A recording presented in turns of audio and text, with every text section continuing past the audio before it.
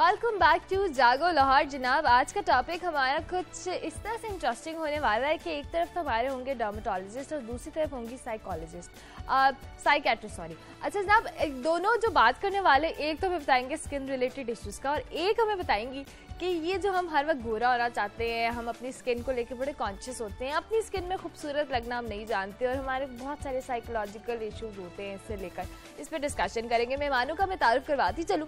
हमारे साथ मौजूद होंगे प्रोफेसर डॉक्टर आतिफ काजमी जो कि डिपार्टमेंट ऑफ़ डर्माटोलॉजिस्ट के डर्माटोलॉजी के हेड भी हैं किंग एडवर्ड मेडिकल यूनिवर्सिटी में हॉस्पिटल में। और उसके साथ साथ डॉक्टर समरा अमीन होंगी जो कि साइकेट्रिस्ट है। Welcome to the show thank you so much for coming बहुत शुक्रिया। डॉक्टर साहब सबसे पहले तो हम स्किन रिलेटेड इश्यूज़ को थोड़ा डिस्कस करें कि विंटर्स में चूँकि अब ड्राइनेस और बहुत सारे ऐसे मसाइल आएँगे क्या क्या इश्यूज़ हैं जो स्किन के हमें डील करने पड़ते हैं? बिल्कुल ठीक आपने कहा। अब जिस तरह सर्दियाँ बहुत हैं और लाहौर में तो काफ़ी ठंड हो गई शाम में तो काफ़ी स्किन ड्राई हो जाती है।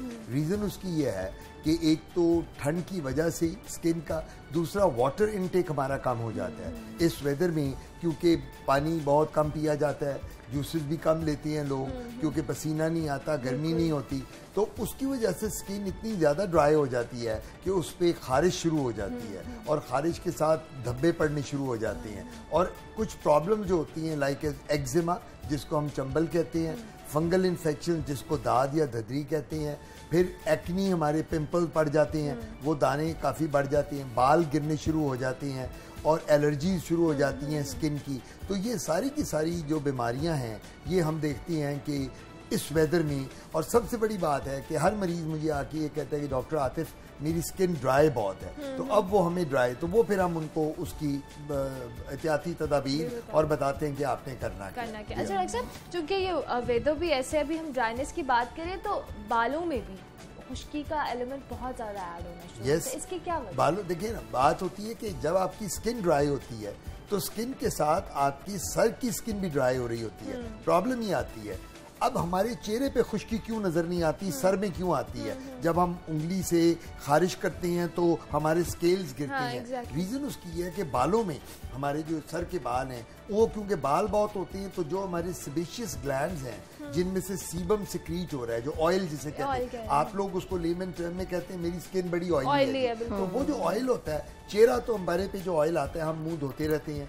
हम सारा दिन बाहर रहते हैं बार बार वज़ू करते हैं पाँच वक्त की वो तो साफ़ हो जाता है। लेकिन जो ऑयल हमारे स्कैल्प में होता है वो बालों में जमता चला जाता है। और ये वो ऑयल होता है जो स्पेशल ग्लैंड का होता है जो बाद में डेंड्रफ की सूरत अख्तियार कर जाता है। तो फिर हम ये करते हैं और सर्दियों में नहाना भी कम हो जाता है। गर्मियों में तो अक्सर क्या होता है कि हम दो, दो तीन दफ़ा नहा लेते हैं। सर्दियों में बच्चों को तो माए दो दो तीन तीन दिन नहीं नहलाती। जब लाहौर में धुंध बहुत पड़ती है ठंड हम्म, बहुत होती है तो बच्चों को वो कहती है बिल्कुल नहीं नहलाना निमोनिया हाँ। हो जाएगा। हम्म। अल्लाह ना करे कोई और प्रॉब्लम हो जाएगी। तो इस वजह से वो डेंड्रफ हमारे बहुत ज़्यादा हो जाती है। ठीक हो गया। अच्छा डॉक्टर समरा आज हम जरा बात करें गोरा होने पे स्किन में खूबसूरत लगने में। हम सब लोग भागते हैं इस चीज़ से। क्या हम्म। वजह है? वजह ये कि हम बेसिकली तो एशियंस हैं। हमारी जो स्किन टाइप है वो है ही नहीं वाइट तो इंसान उसी तरफ़ दौड़ता है जो चीज़ उसके पास नहीं, नहीं होती है बेसिकली तो ये आ, मेरा ख्याल है कि कॉन्सेप्ट था अंग्रेज़ आए जी गोरे आए हैं जब सब कॉन्टिनेंट में आए गोरे चले गए उनका गोरे रंग का जो इम्प्रेशन था ना कि सुपीरियोरिटी हम्म। कि ये एक सुपीरियर चीज़ है गोरा होना। हम्म, हम्म, वो माइंड्स में रह गया इतना माइंड सेट लोगों का it's about all mind set कि जी गोरी चीज़ एक अच्छी चीज़ है और बात वही दोबारा से मैं दोहराऊँगी कि वो जो चीज़ आपके पास नहीं है वो चीज़ आप उसको यू वांट दैट थिंग मगर उसमें भी अब यही है कि जैसे uh, आपको अपनी जो दी हुई है जो स्किन अल्लाह ताला ने दे दी है जो स्किन कलर दे दी है जो आपके जीन्स में आ गया है ये बार बार लोगों को बताना पड़ेगा कि जो जीन्स में आई है कलर मेरे सर सामने बैठे हुए हम्म। कि अब जेनेटिक आपके जो कलर आ गया है और एशियंस का स्किन है ही ब्राउन हम्म। तो ब्राउन को हम वाइट से कितना वाइट कर सकते हैं? हम्म। ठीक है कुछ कुछ ऐसी कास्ट सिस्टम है जो पीछे अफगानीज की से आ, आ रहा है जो कोई ब्लड और तरफ़ से आ रहा है वो ज़्यादा वाइटर हो सकते हैं but now is the time कि आप ये सोचें कि सफ़ेद रंग के पीछे भागना क्या इज़ इट वर्थ इट क्या ये कामयाबी की निशानी कहीं से आती है? किसी कामयाब शख्स के पीछे कभी उसकी कामयाबी की ये ये ये ये ये क्राइटेरियाज में कभी ये भी लिखा आया कि जी वो गोरे रंग के भी थे? I don't think so so so, अब ये जो दूसरा कमर्शियल जो सर ज़्यादा बेहतर समझते हैं मेरे उस्ताद हैं कि जो कमर्शियल क्रीम्स मिल रही हैं जितना कुछ मिल रहा है वो ब्लीचिंग एजेंट्स हैं वो वाइटनिंग एजेंट्स हैं they are all damaging for the skin ठीक है तो be content with what you have basically what handsome is he who handsome does right अगर आपके माइंड में ये बात है कि आप कॉन्फिडेंट uh, हैं आपका एटीट्यूड ठीक है आप अच्छे लाइक like इंसान हैं collect doesn't matter at all लेकिन फिर भी अगर आपको रंग और नस्ल से ऊपर निकलना नहीं आ रहा तो दैट इज़ आर फेलियर ना सही।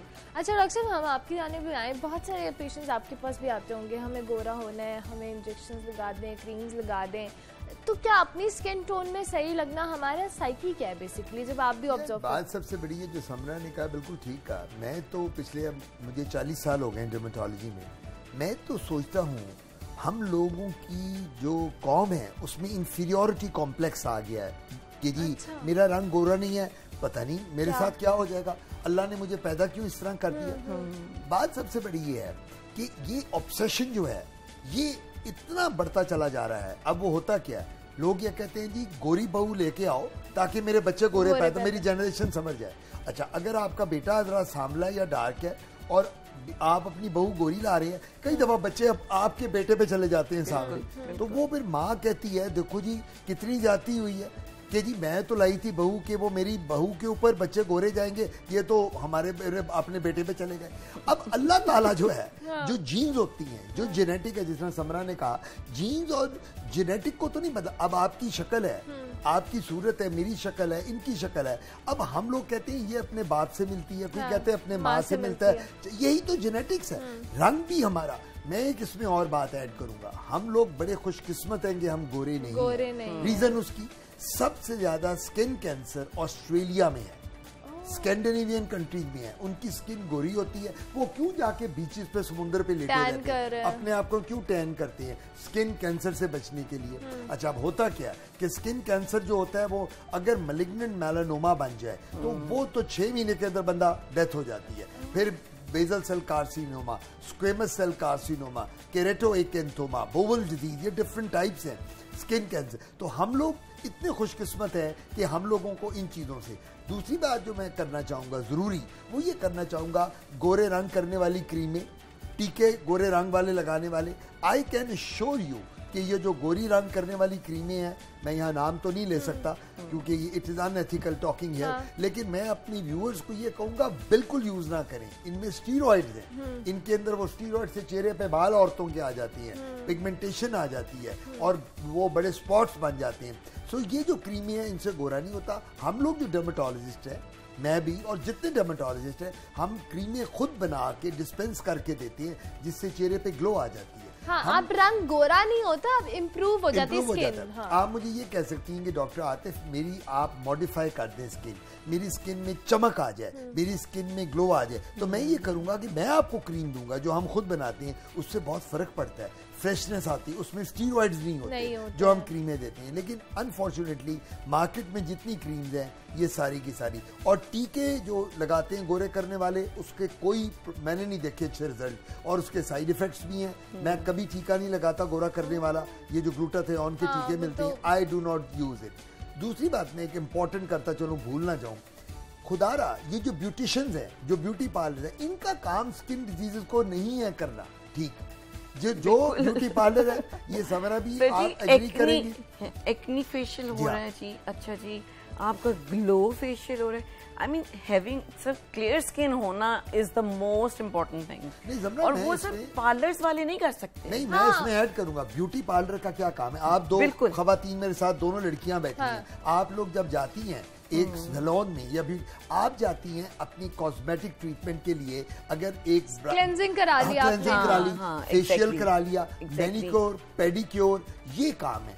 ब्यूटिशियन का काम एक्नी को ठीक करना नहीं है हाँ। नहीं। मलाजमा को सियाइयों को फ्रैकल्स को ठीक करना नहीं है हल्कों को ठीक करना नहीं है अब तो डॉक्टर हाँ। आतिफ सैलून्स पर इंजेक्शन फ्रैकल्स खत्म करने के आपको वहाँ ट्रीटमेंट हो रहे हैं बकायदा थेरेपी चले समझ में आता है आपकी मसाज अब फेस की कर रहे हैं चलो आपकी स्किन थोड़ी फ्रेश वो सारी सर्कुलेशन वो दैट इंजेक्शन है वहाँ पर बुटॉक्स कर रहे हैं आपका फिलर्स आपको पता है ये बोटॉक्स और फिलर जो है it's so dangerous when it is used by a technician हम लोगों को एनेटमी पता होती है स्किन की फेस की। Hmm. हम लोगों को पता होता है कि बोटॉक्स लगाना कहाँ कहाँ है। हाँ. फिलर लगाने किस मसल के अंदर अल्लाह ना करे कि एक औरत बोटॉक्स कराती है किसी ब्यूटी सलोन से। हाँ. और वो एक लड़की वहाँ टेक्नीशियन जो है F A matric B A pass लड़की वो हाँ. लगा रही है। और वो बोटॉक्स गलती से किसी नर्व के अंदर लग जाए तो सारी उम्र के लिए आपको उस एरिया का फालिज की तरह का अटैक हो सकता है। पालसी हो सकती है ड्रूपिंग ऑफ़ द आईलिड हो सकती है।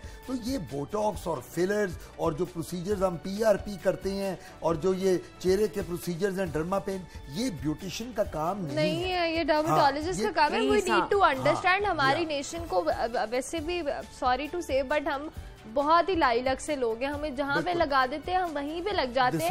इवन इसको टीवी चैनल्स पे देखा जाता है प्रमोट किया जाता है कि वो स्क्रीन पर बैठ के आपके बिटॉक्स इंजेक्शन लगा रहे हैं। और मैंने तो एक प्रोग्राम में देखा था कि वो गलत लग गया था सर। बोटॉक्स गलत लग गया था और वो उसी टाइम उसका जो इफ़ेक्ट आया था that was on the TV many years back अच्छा एक कॉलर ले लेते हैं हमारे साथ। नाइला है अस्सलाम वालेकुम। वालेकुम। अस्सलाम। जी नाइला क्या कहना चाहेंगी? डॉक्टर से बात करनी थी जी जी करें करें बिल्कुल करें। जी ना मेरे ना छाइया और ना आँखों के नीचे पफी आईज है। ठीक है। और ना बहुत गहरे खड्डे हैं। गहरे ना काफ़ी में मैं ना हाँ? जी बहुत कैसी रोती बहुत। आपकी एज कितनी है? फिफ्टी है। Fifty okay. जी। ठीक है। ठीक हो गया। अभी आपको बताते thank you so much for calling Naira. बहुत शुक्रिया। जी। फिफ्टी ईयर्स ओल्ड हैं मीनोपॉज इनको हो गया होगा माशाल्लाह ऑब्वियसली बच्चे भी होंगे। तो इस एज में जब स्याहियाँ पड़ती हैं तो उसके दो तीन रीज़न हैं। हम्म, हम्म। एक तो पोस्ट मीनोपॉजल होती हैं। मीनोपॉज के बाद पीरियड्स के ख़त्म होने के बाद मेंस्ट्रुअल साइकिल की सेशन के बाद दूसरा स्ट्रेस एंजाइटी का एलिमेंट हम्म, होता है सन एक्सपोजर का एलिमेंट होता है। और सबसे बड़ा जो रीजन है इस उम्र में वो इम्प्रॉपर डाइट का होता है। मैं इसमें ये कहना चाहूँगा कि इनको चाहिए दूध ज़रूर पिए। अच्छा। होता ही है कि जब औरतें बच्चे दो तीन पैदा कर लेती हैं तो वो खुद दूध पीना बंद कर देती हैं बच्चों को दूध पिलाना शुरू कर देती हैं। हम्म। बेटा तुमने स्कूल जाना दूध पी के जाना। बेटा तुमने दूध नहीं। और भाई माँ खुद तो दूध पिए ना। अपना ख्याल तो करे ना। हम्म। आप अगर इंग्लैंड अमेरिका यूरोपियन कंट्रीज़ में जाएँ तो वहाँ एक औरत या मर्द जो नब्बे साल का भी है वो सुबह उठ के सबसे पहले दूध का ग्लास पीता है ऑरेंज हम्म। जूस पीता है। उसके बाद वो ग्रेप फ्रूट का जूस पीता है। क्यों वो फ्रेश रहते हैं? हम लोग कहते हैं यार वो लोग तो नब्बे नब्बे साल के बाहर भाग रहे होते हैं और हमारी औरत साठ साल पे कहती है उसमें घुटने गए। हाँ। हाय मुझे दर्दें शुरू हो गई। अब तो चालीस साल में चालीस साल हो जाती है।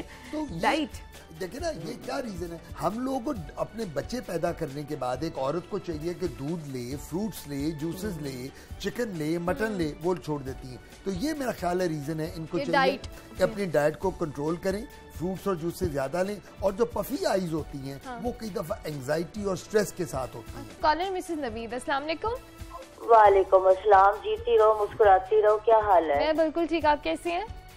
बस ठीक है अब तो हम रेगुलर कॉलर रहे नहीं तब तो स्लो मोशन कॉलर हो गए क्यों भाई? ऐसा क्या हो गया? बस कभी कभी कॉल लग जाती है तो फिर ठीक। अच्छा क्या कहना अच्छा, चाहेंगी? मैंने ये पूछना बेटा एक तो डॉक्टर साहब ये पूछना है कि जो देसी नुस्खे हैं हम्म। वो जो पहले होते थे कि जी बेसन लगा लिया अब मेरी फिफ्टी से ऊपर एज है। हम्म। लेकिन मेरी स्किन पे आज तक कभी दाना नहीं निकला। हम्म, और मेरे डॉक्टर साहब ये पूछना है कि मैंने अपनी बच्चियों को भी यही कहा है कि जो देसी टोटके वो ज़्यादा बेहतर है। कॉलर आज तक मैंने गई शादी में पचास साल पहले गई थी। हाँ स्किन नरम है आज मेरे ये पूछना है आजकल की बच्चियों को ये क्रीमों के और ये सब चीज़ों के अलावा हम अगर देसी नुस्खों की तरफ़ जाते हैं हम्म। और बच्चों बच्चियों में हमने ये डाल दिया ये क्रीम लगाओ रंग गोरा करो। सांवला रंग सबसे प्यारा कलर है। हम्म, हम्म, हाँ और बस ये मैं बताना चाह रही हूँ कि आप बताएँ बच्चों को और बड़ी मेहरबानी डॉक्टर साहब आते हैं टाइम निकालते हैं और इतने अच्छे तरीके से समझाते हैं कि हमारे दिमागों में करंट लगते हैं कि हम गलत कर रहे हैं। सीधी बात है। ठीक हो गया। बहुत मेहरबानी आप लोगों thank you so much for calling Mrs Naveed बहुत शुक्रिया। मसल नेक्स्ट कॉलर यासमीन अस्सलाम वालेकुम वालेकुम जी यासमीन क्या कहना चाहेंगी? मैं कहना चाहती हूँ कि वो मैं मतलब चेहरे पे बाल आ गए तो किस मतलब किस तरह वो खत्म होंगे तो इस तरह की आपकी एज क्या है मेरे चेहरे पे बाल आ रहे हैं ना एज तो क्या एज क्या है आपकी? एज क्या है? एज मेरी मतलब सताईस अट्ठाईस साल हो गई अच्छा आप मैरिड है? जी मैं शादी शादीशुदा हूँ मेरे तीन बच्चे हैं। अच्छा। यास्मीन आपने को क्रीम तो इस्तेमाल नहीं की थी? नहीं वो मिठाइयों के लिए की थी लेकिन वो इस्तेमाल जी वो इस्तेमाल करने तो वो चेहरे पे बाल आ गए हैं। वेट कर ठीक हो गया।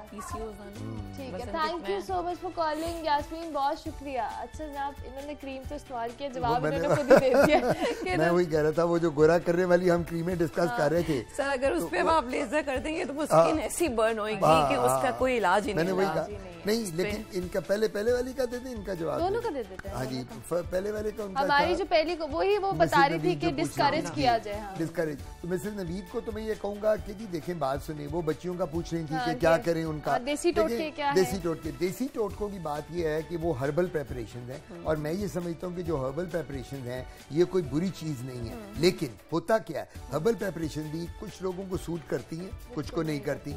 अब लोग कोई कुछ लोग लीमू लगा लेते हैं। हाँ। लीमू जो होता है स्ट्रिंजेंट होता है। वो स्किन को सूट करता है। कुछ लोग अंडा मलते हैं कुछ लोग दही लगाते हैं कुछ लोग नीम का पानी लगाते हैं। ये सारे पीलिंग एजेंट होते हैं जो स्किन की लेयर को उतार के तो फ्रेश करते हैं। लेकिन होता क्या है कि कई दफ़ा आप एक चीज़ लगा रही हैं आपको सूट कर रही है मुझे नहीं कर रही हम्म। मुझे कर रही है समरा को नहीं कर रही। सो हर बंदे की अल्लाह ने स्किन डिफरेंट बनाई है।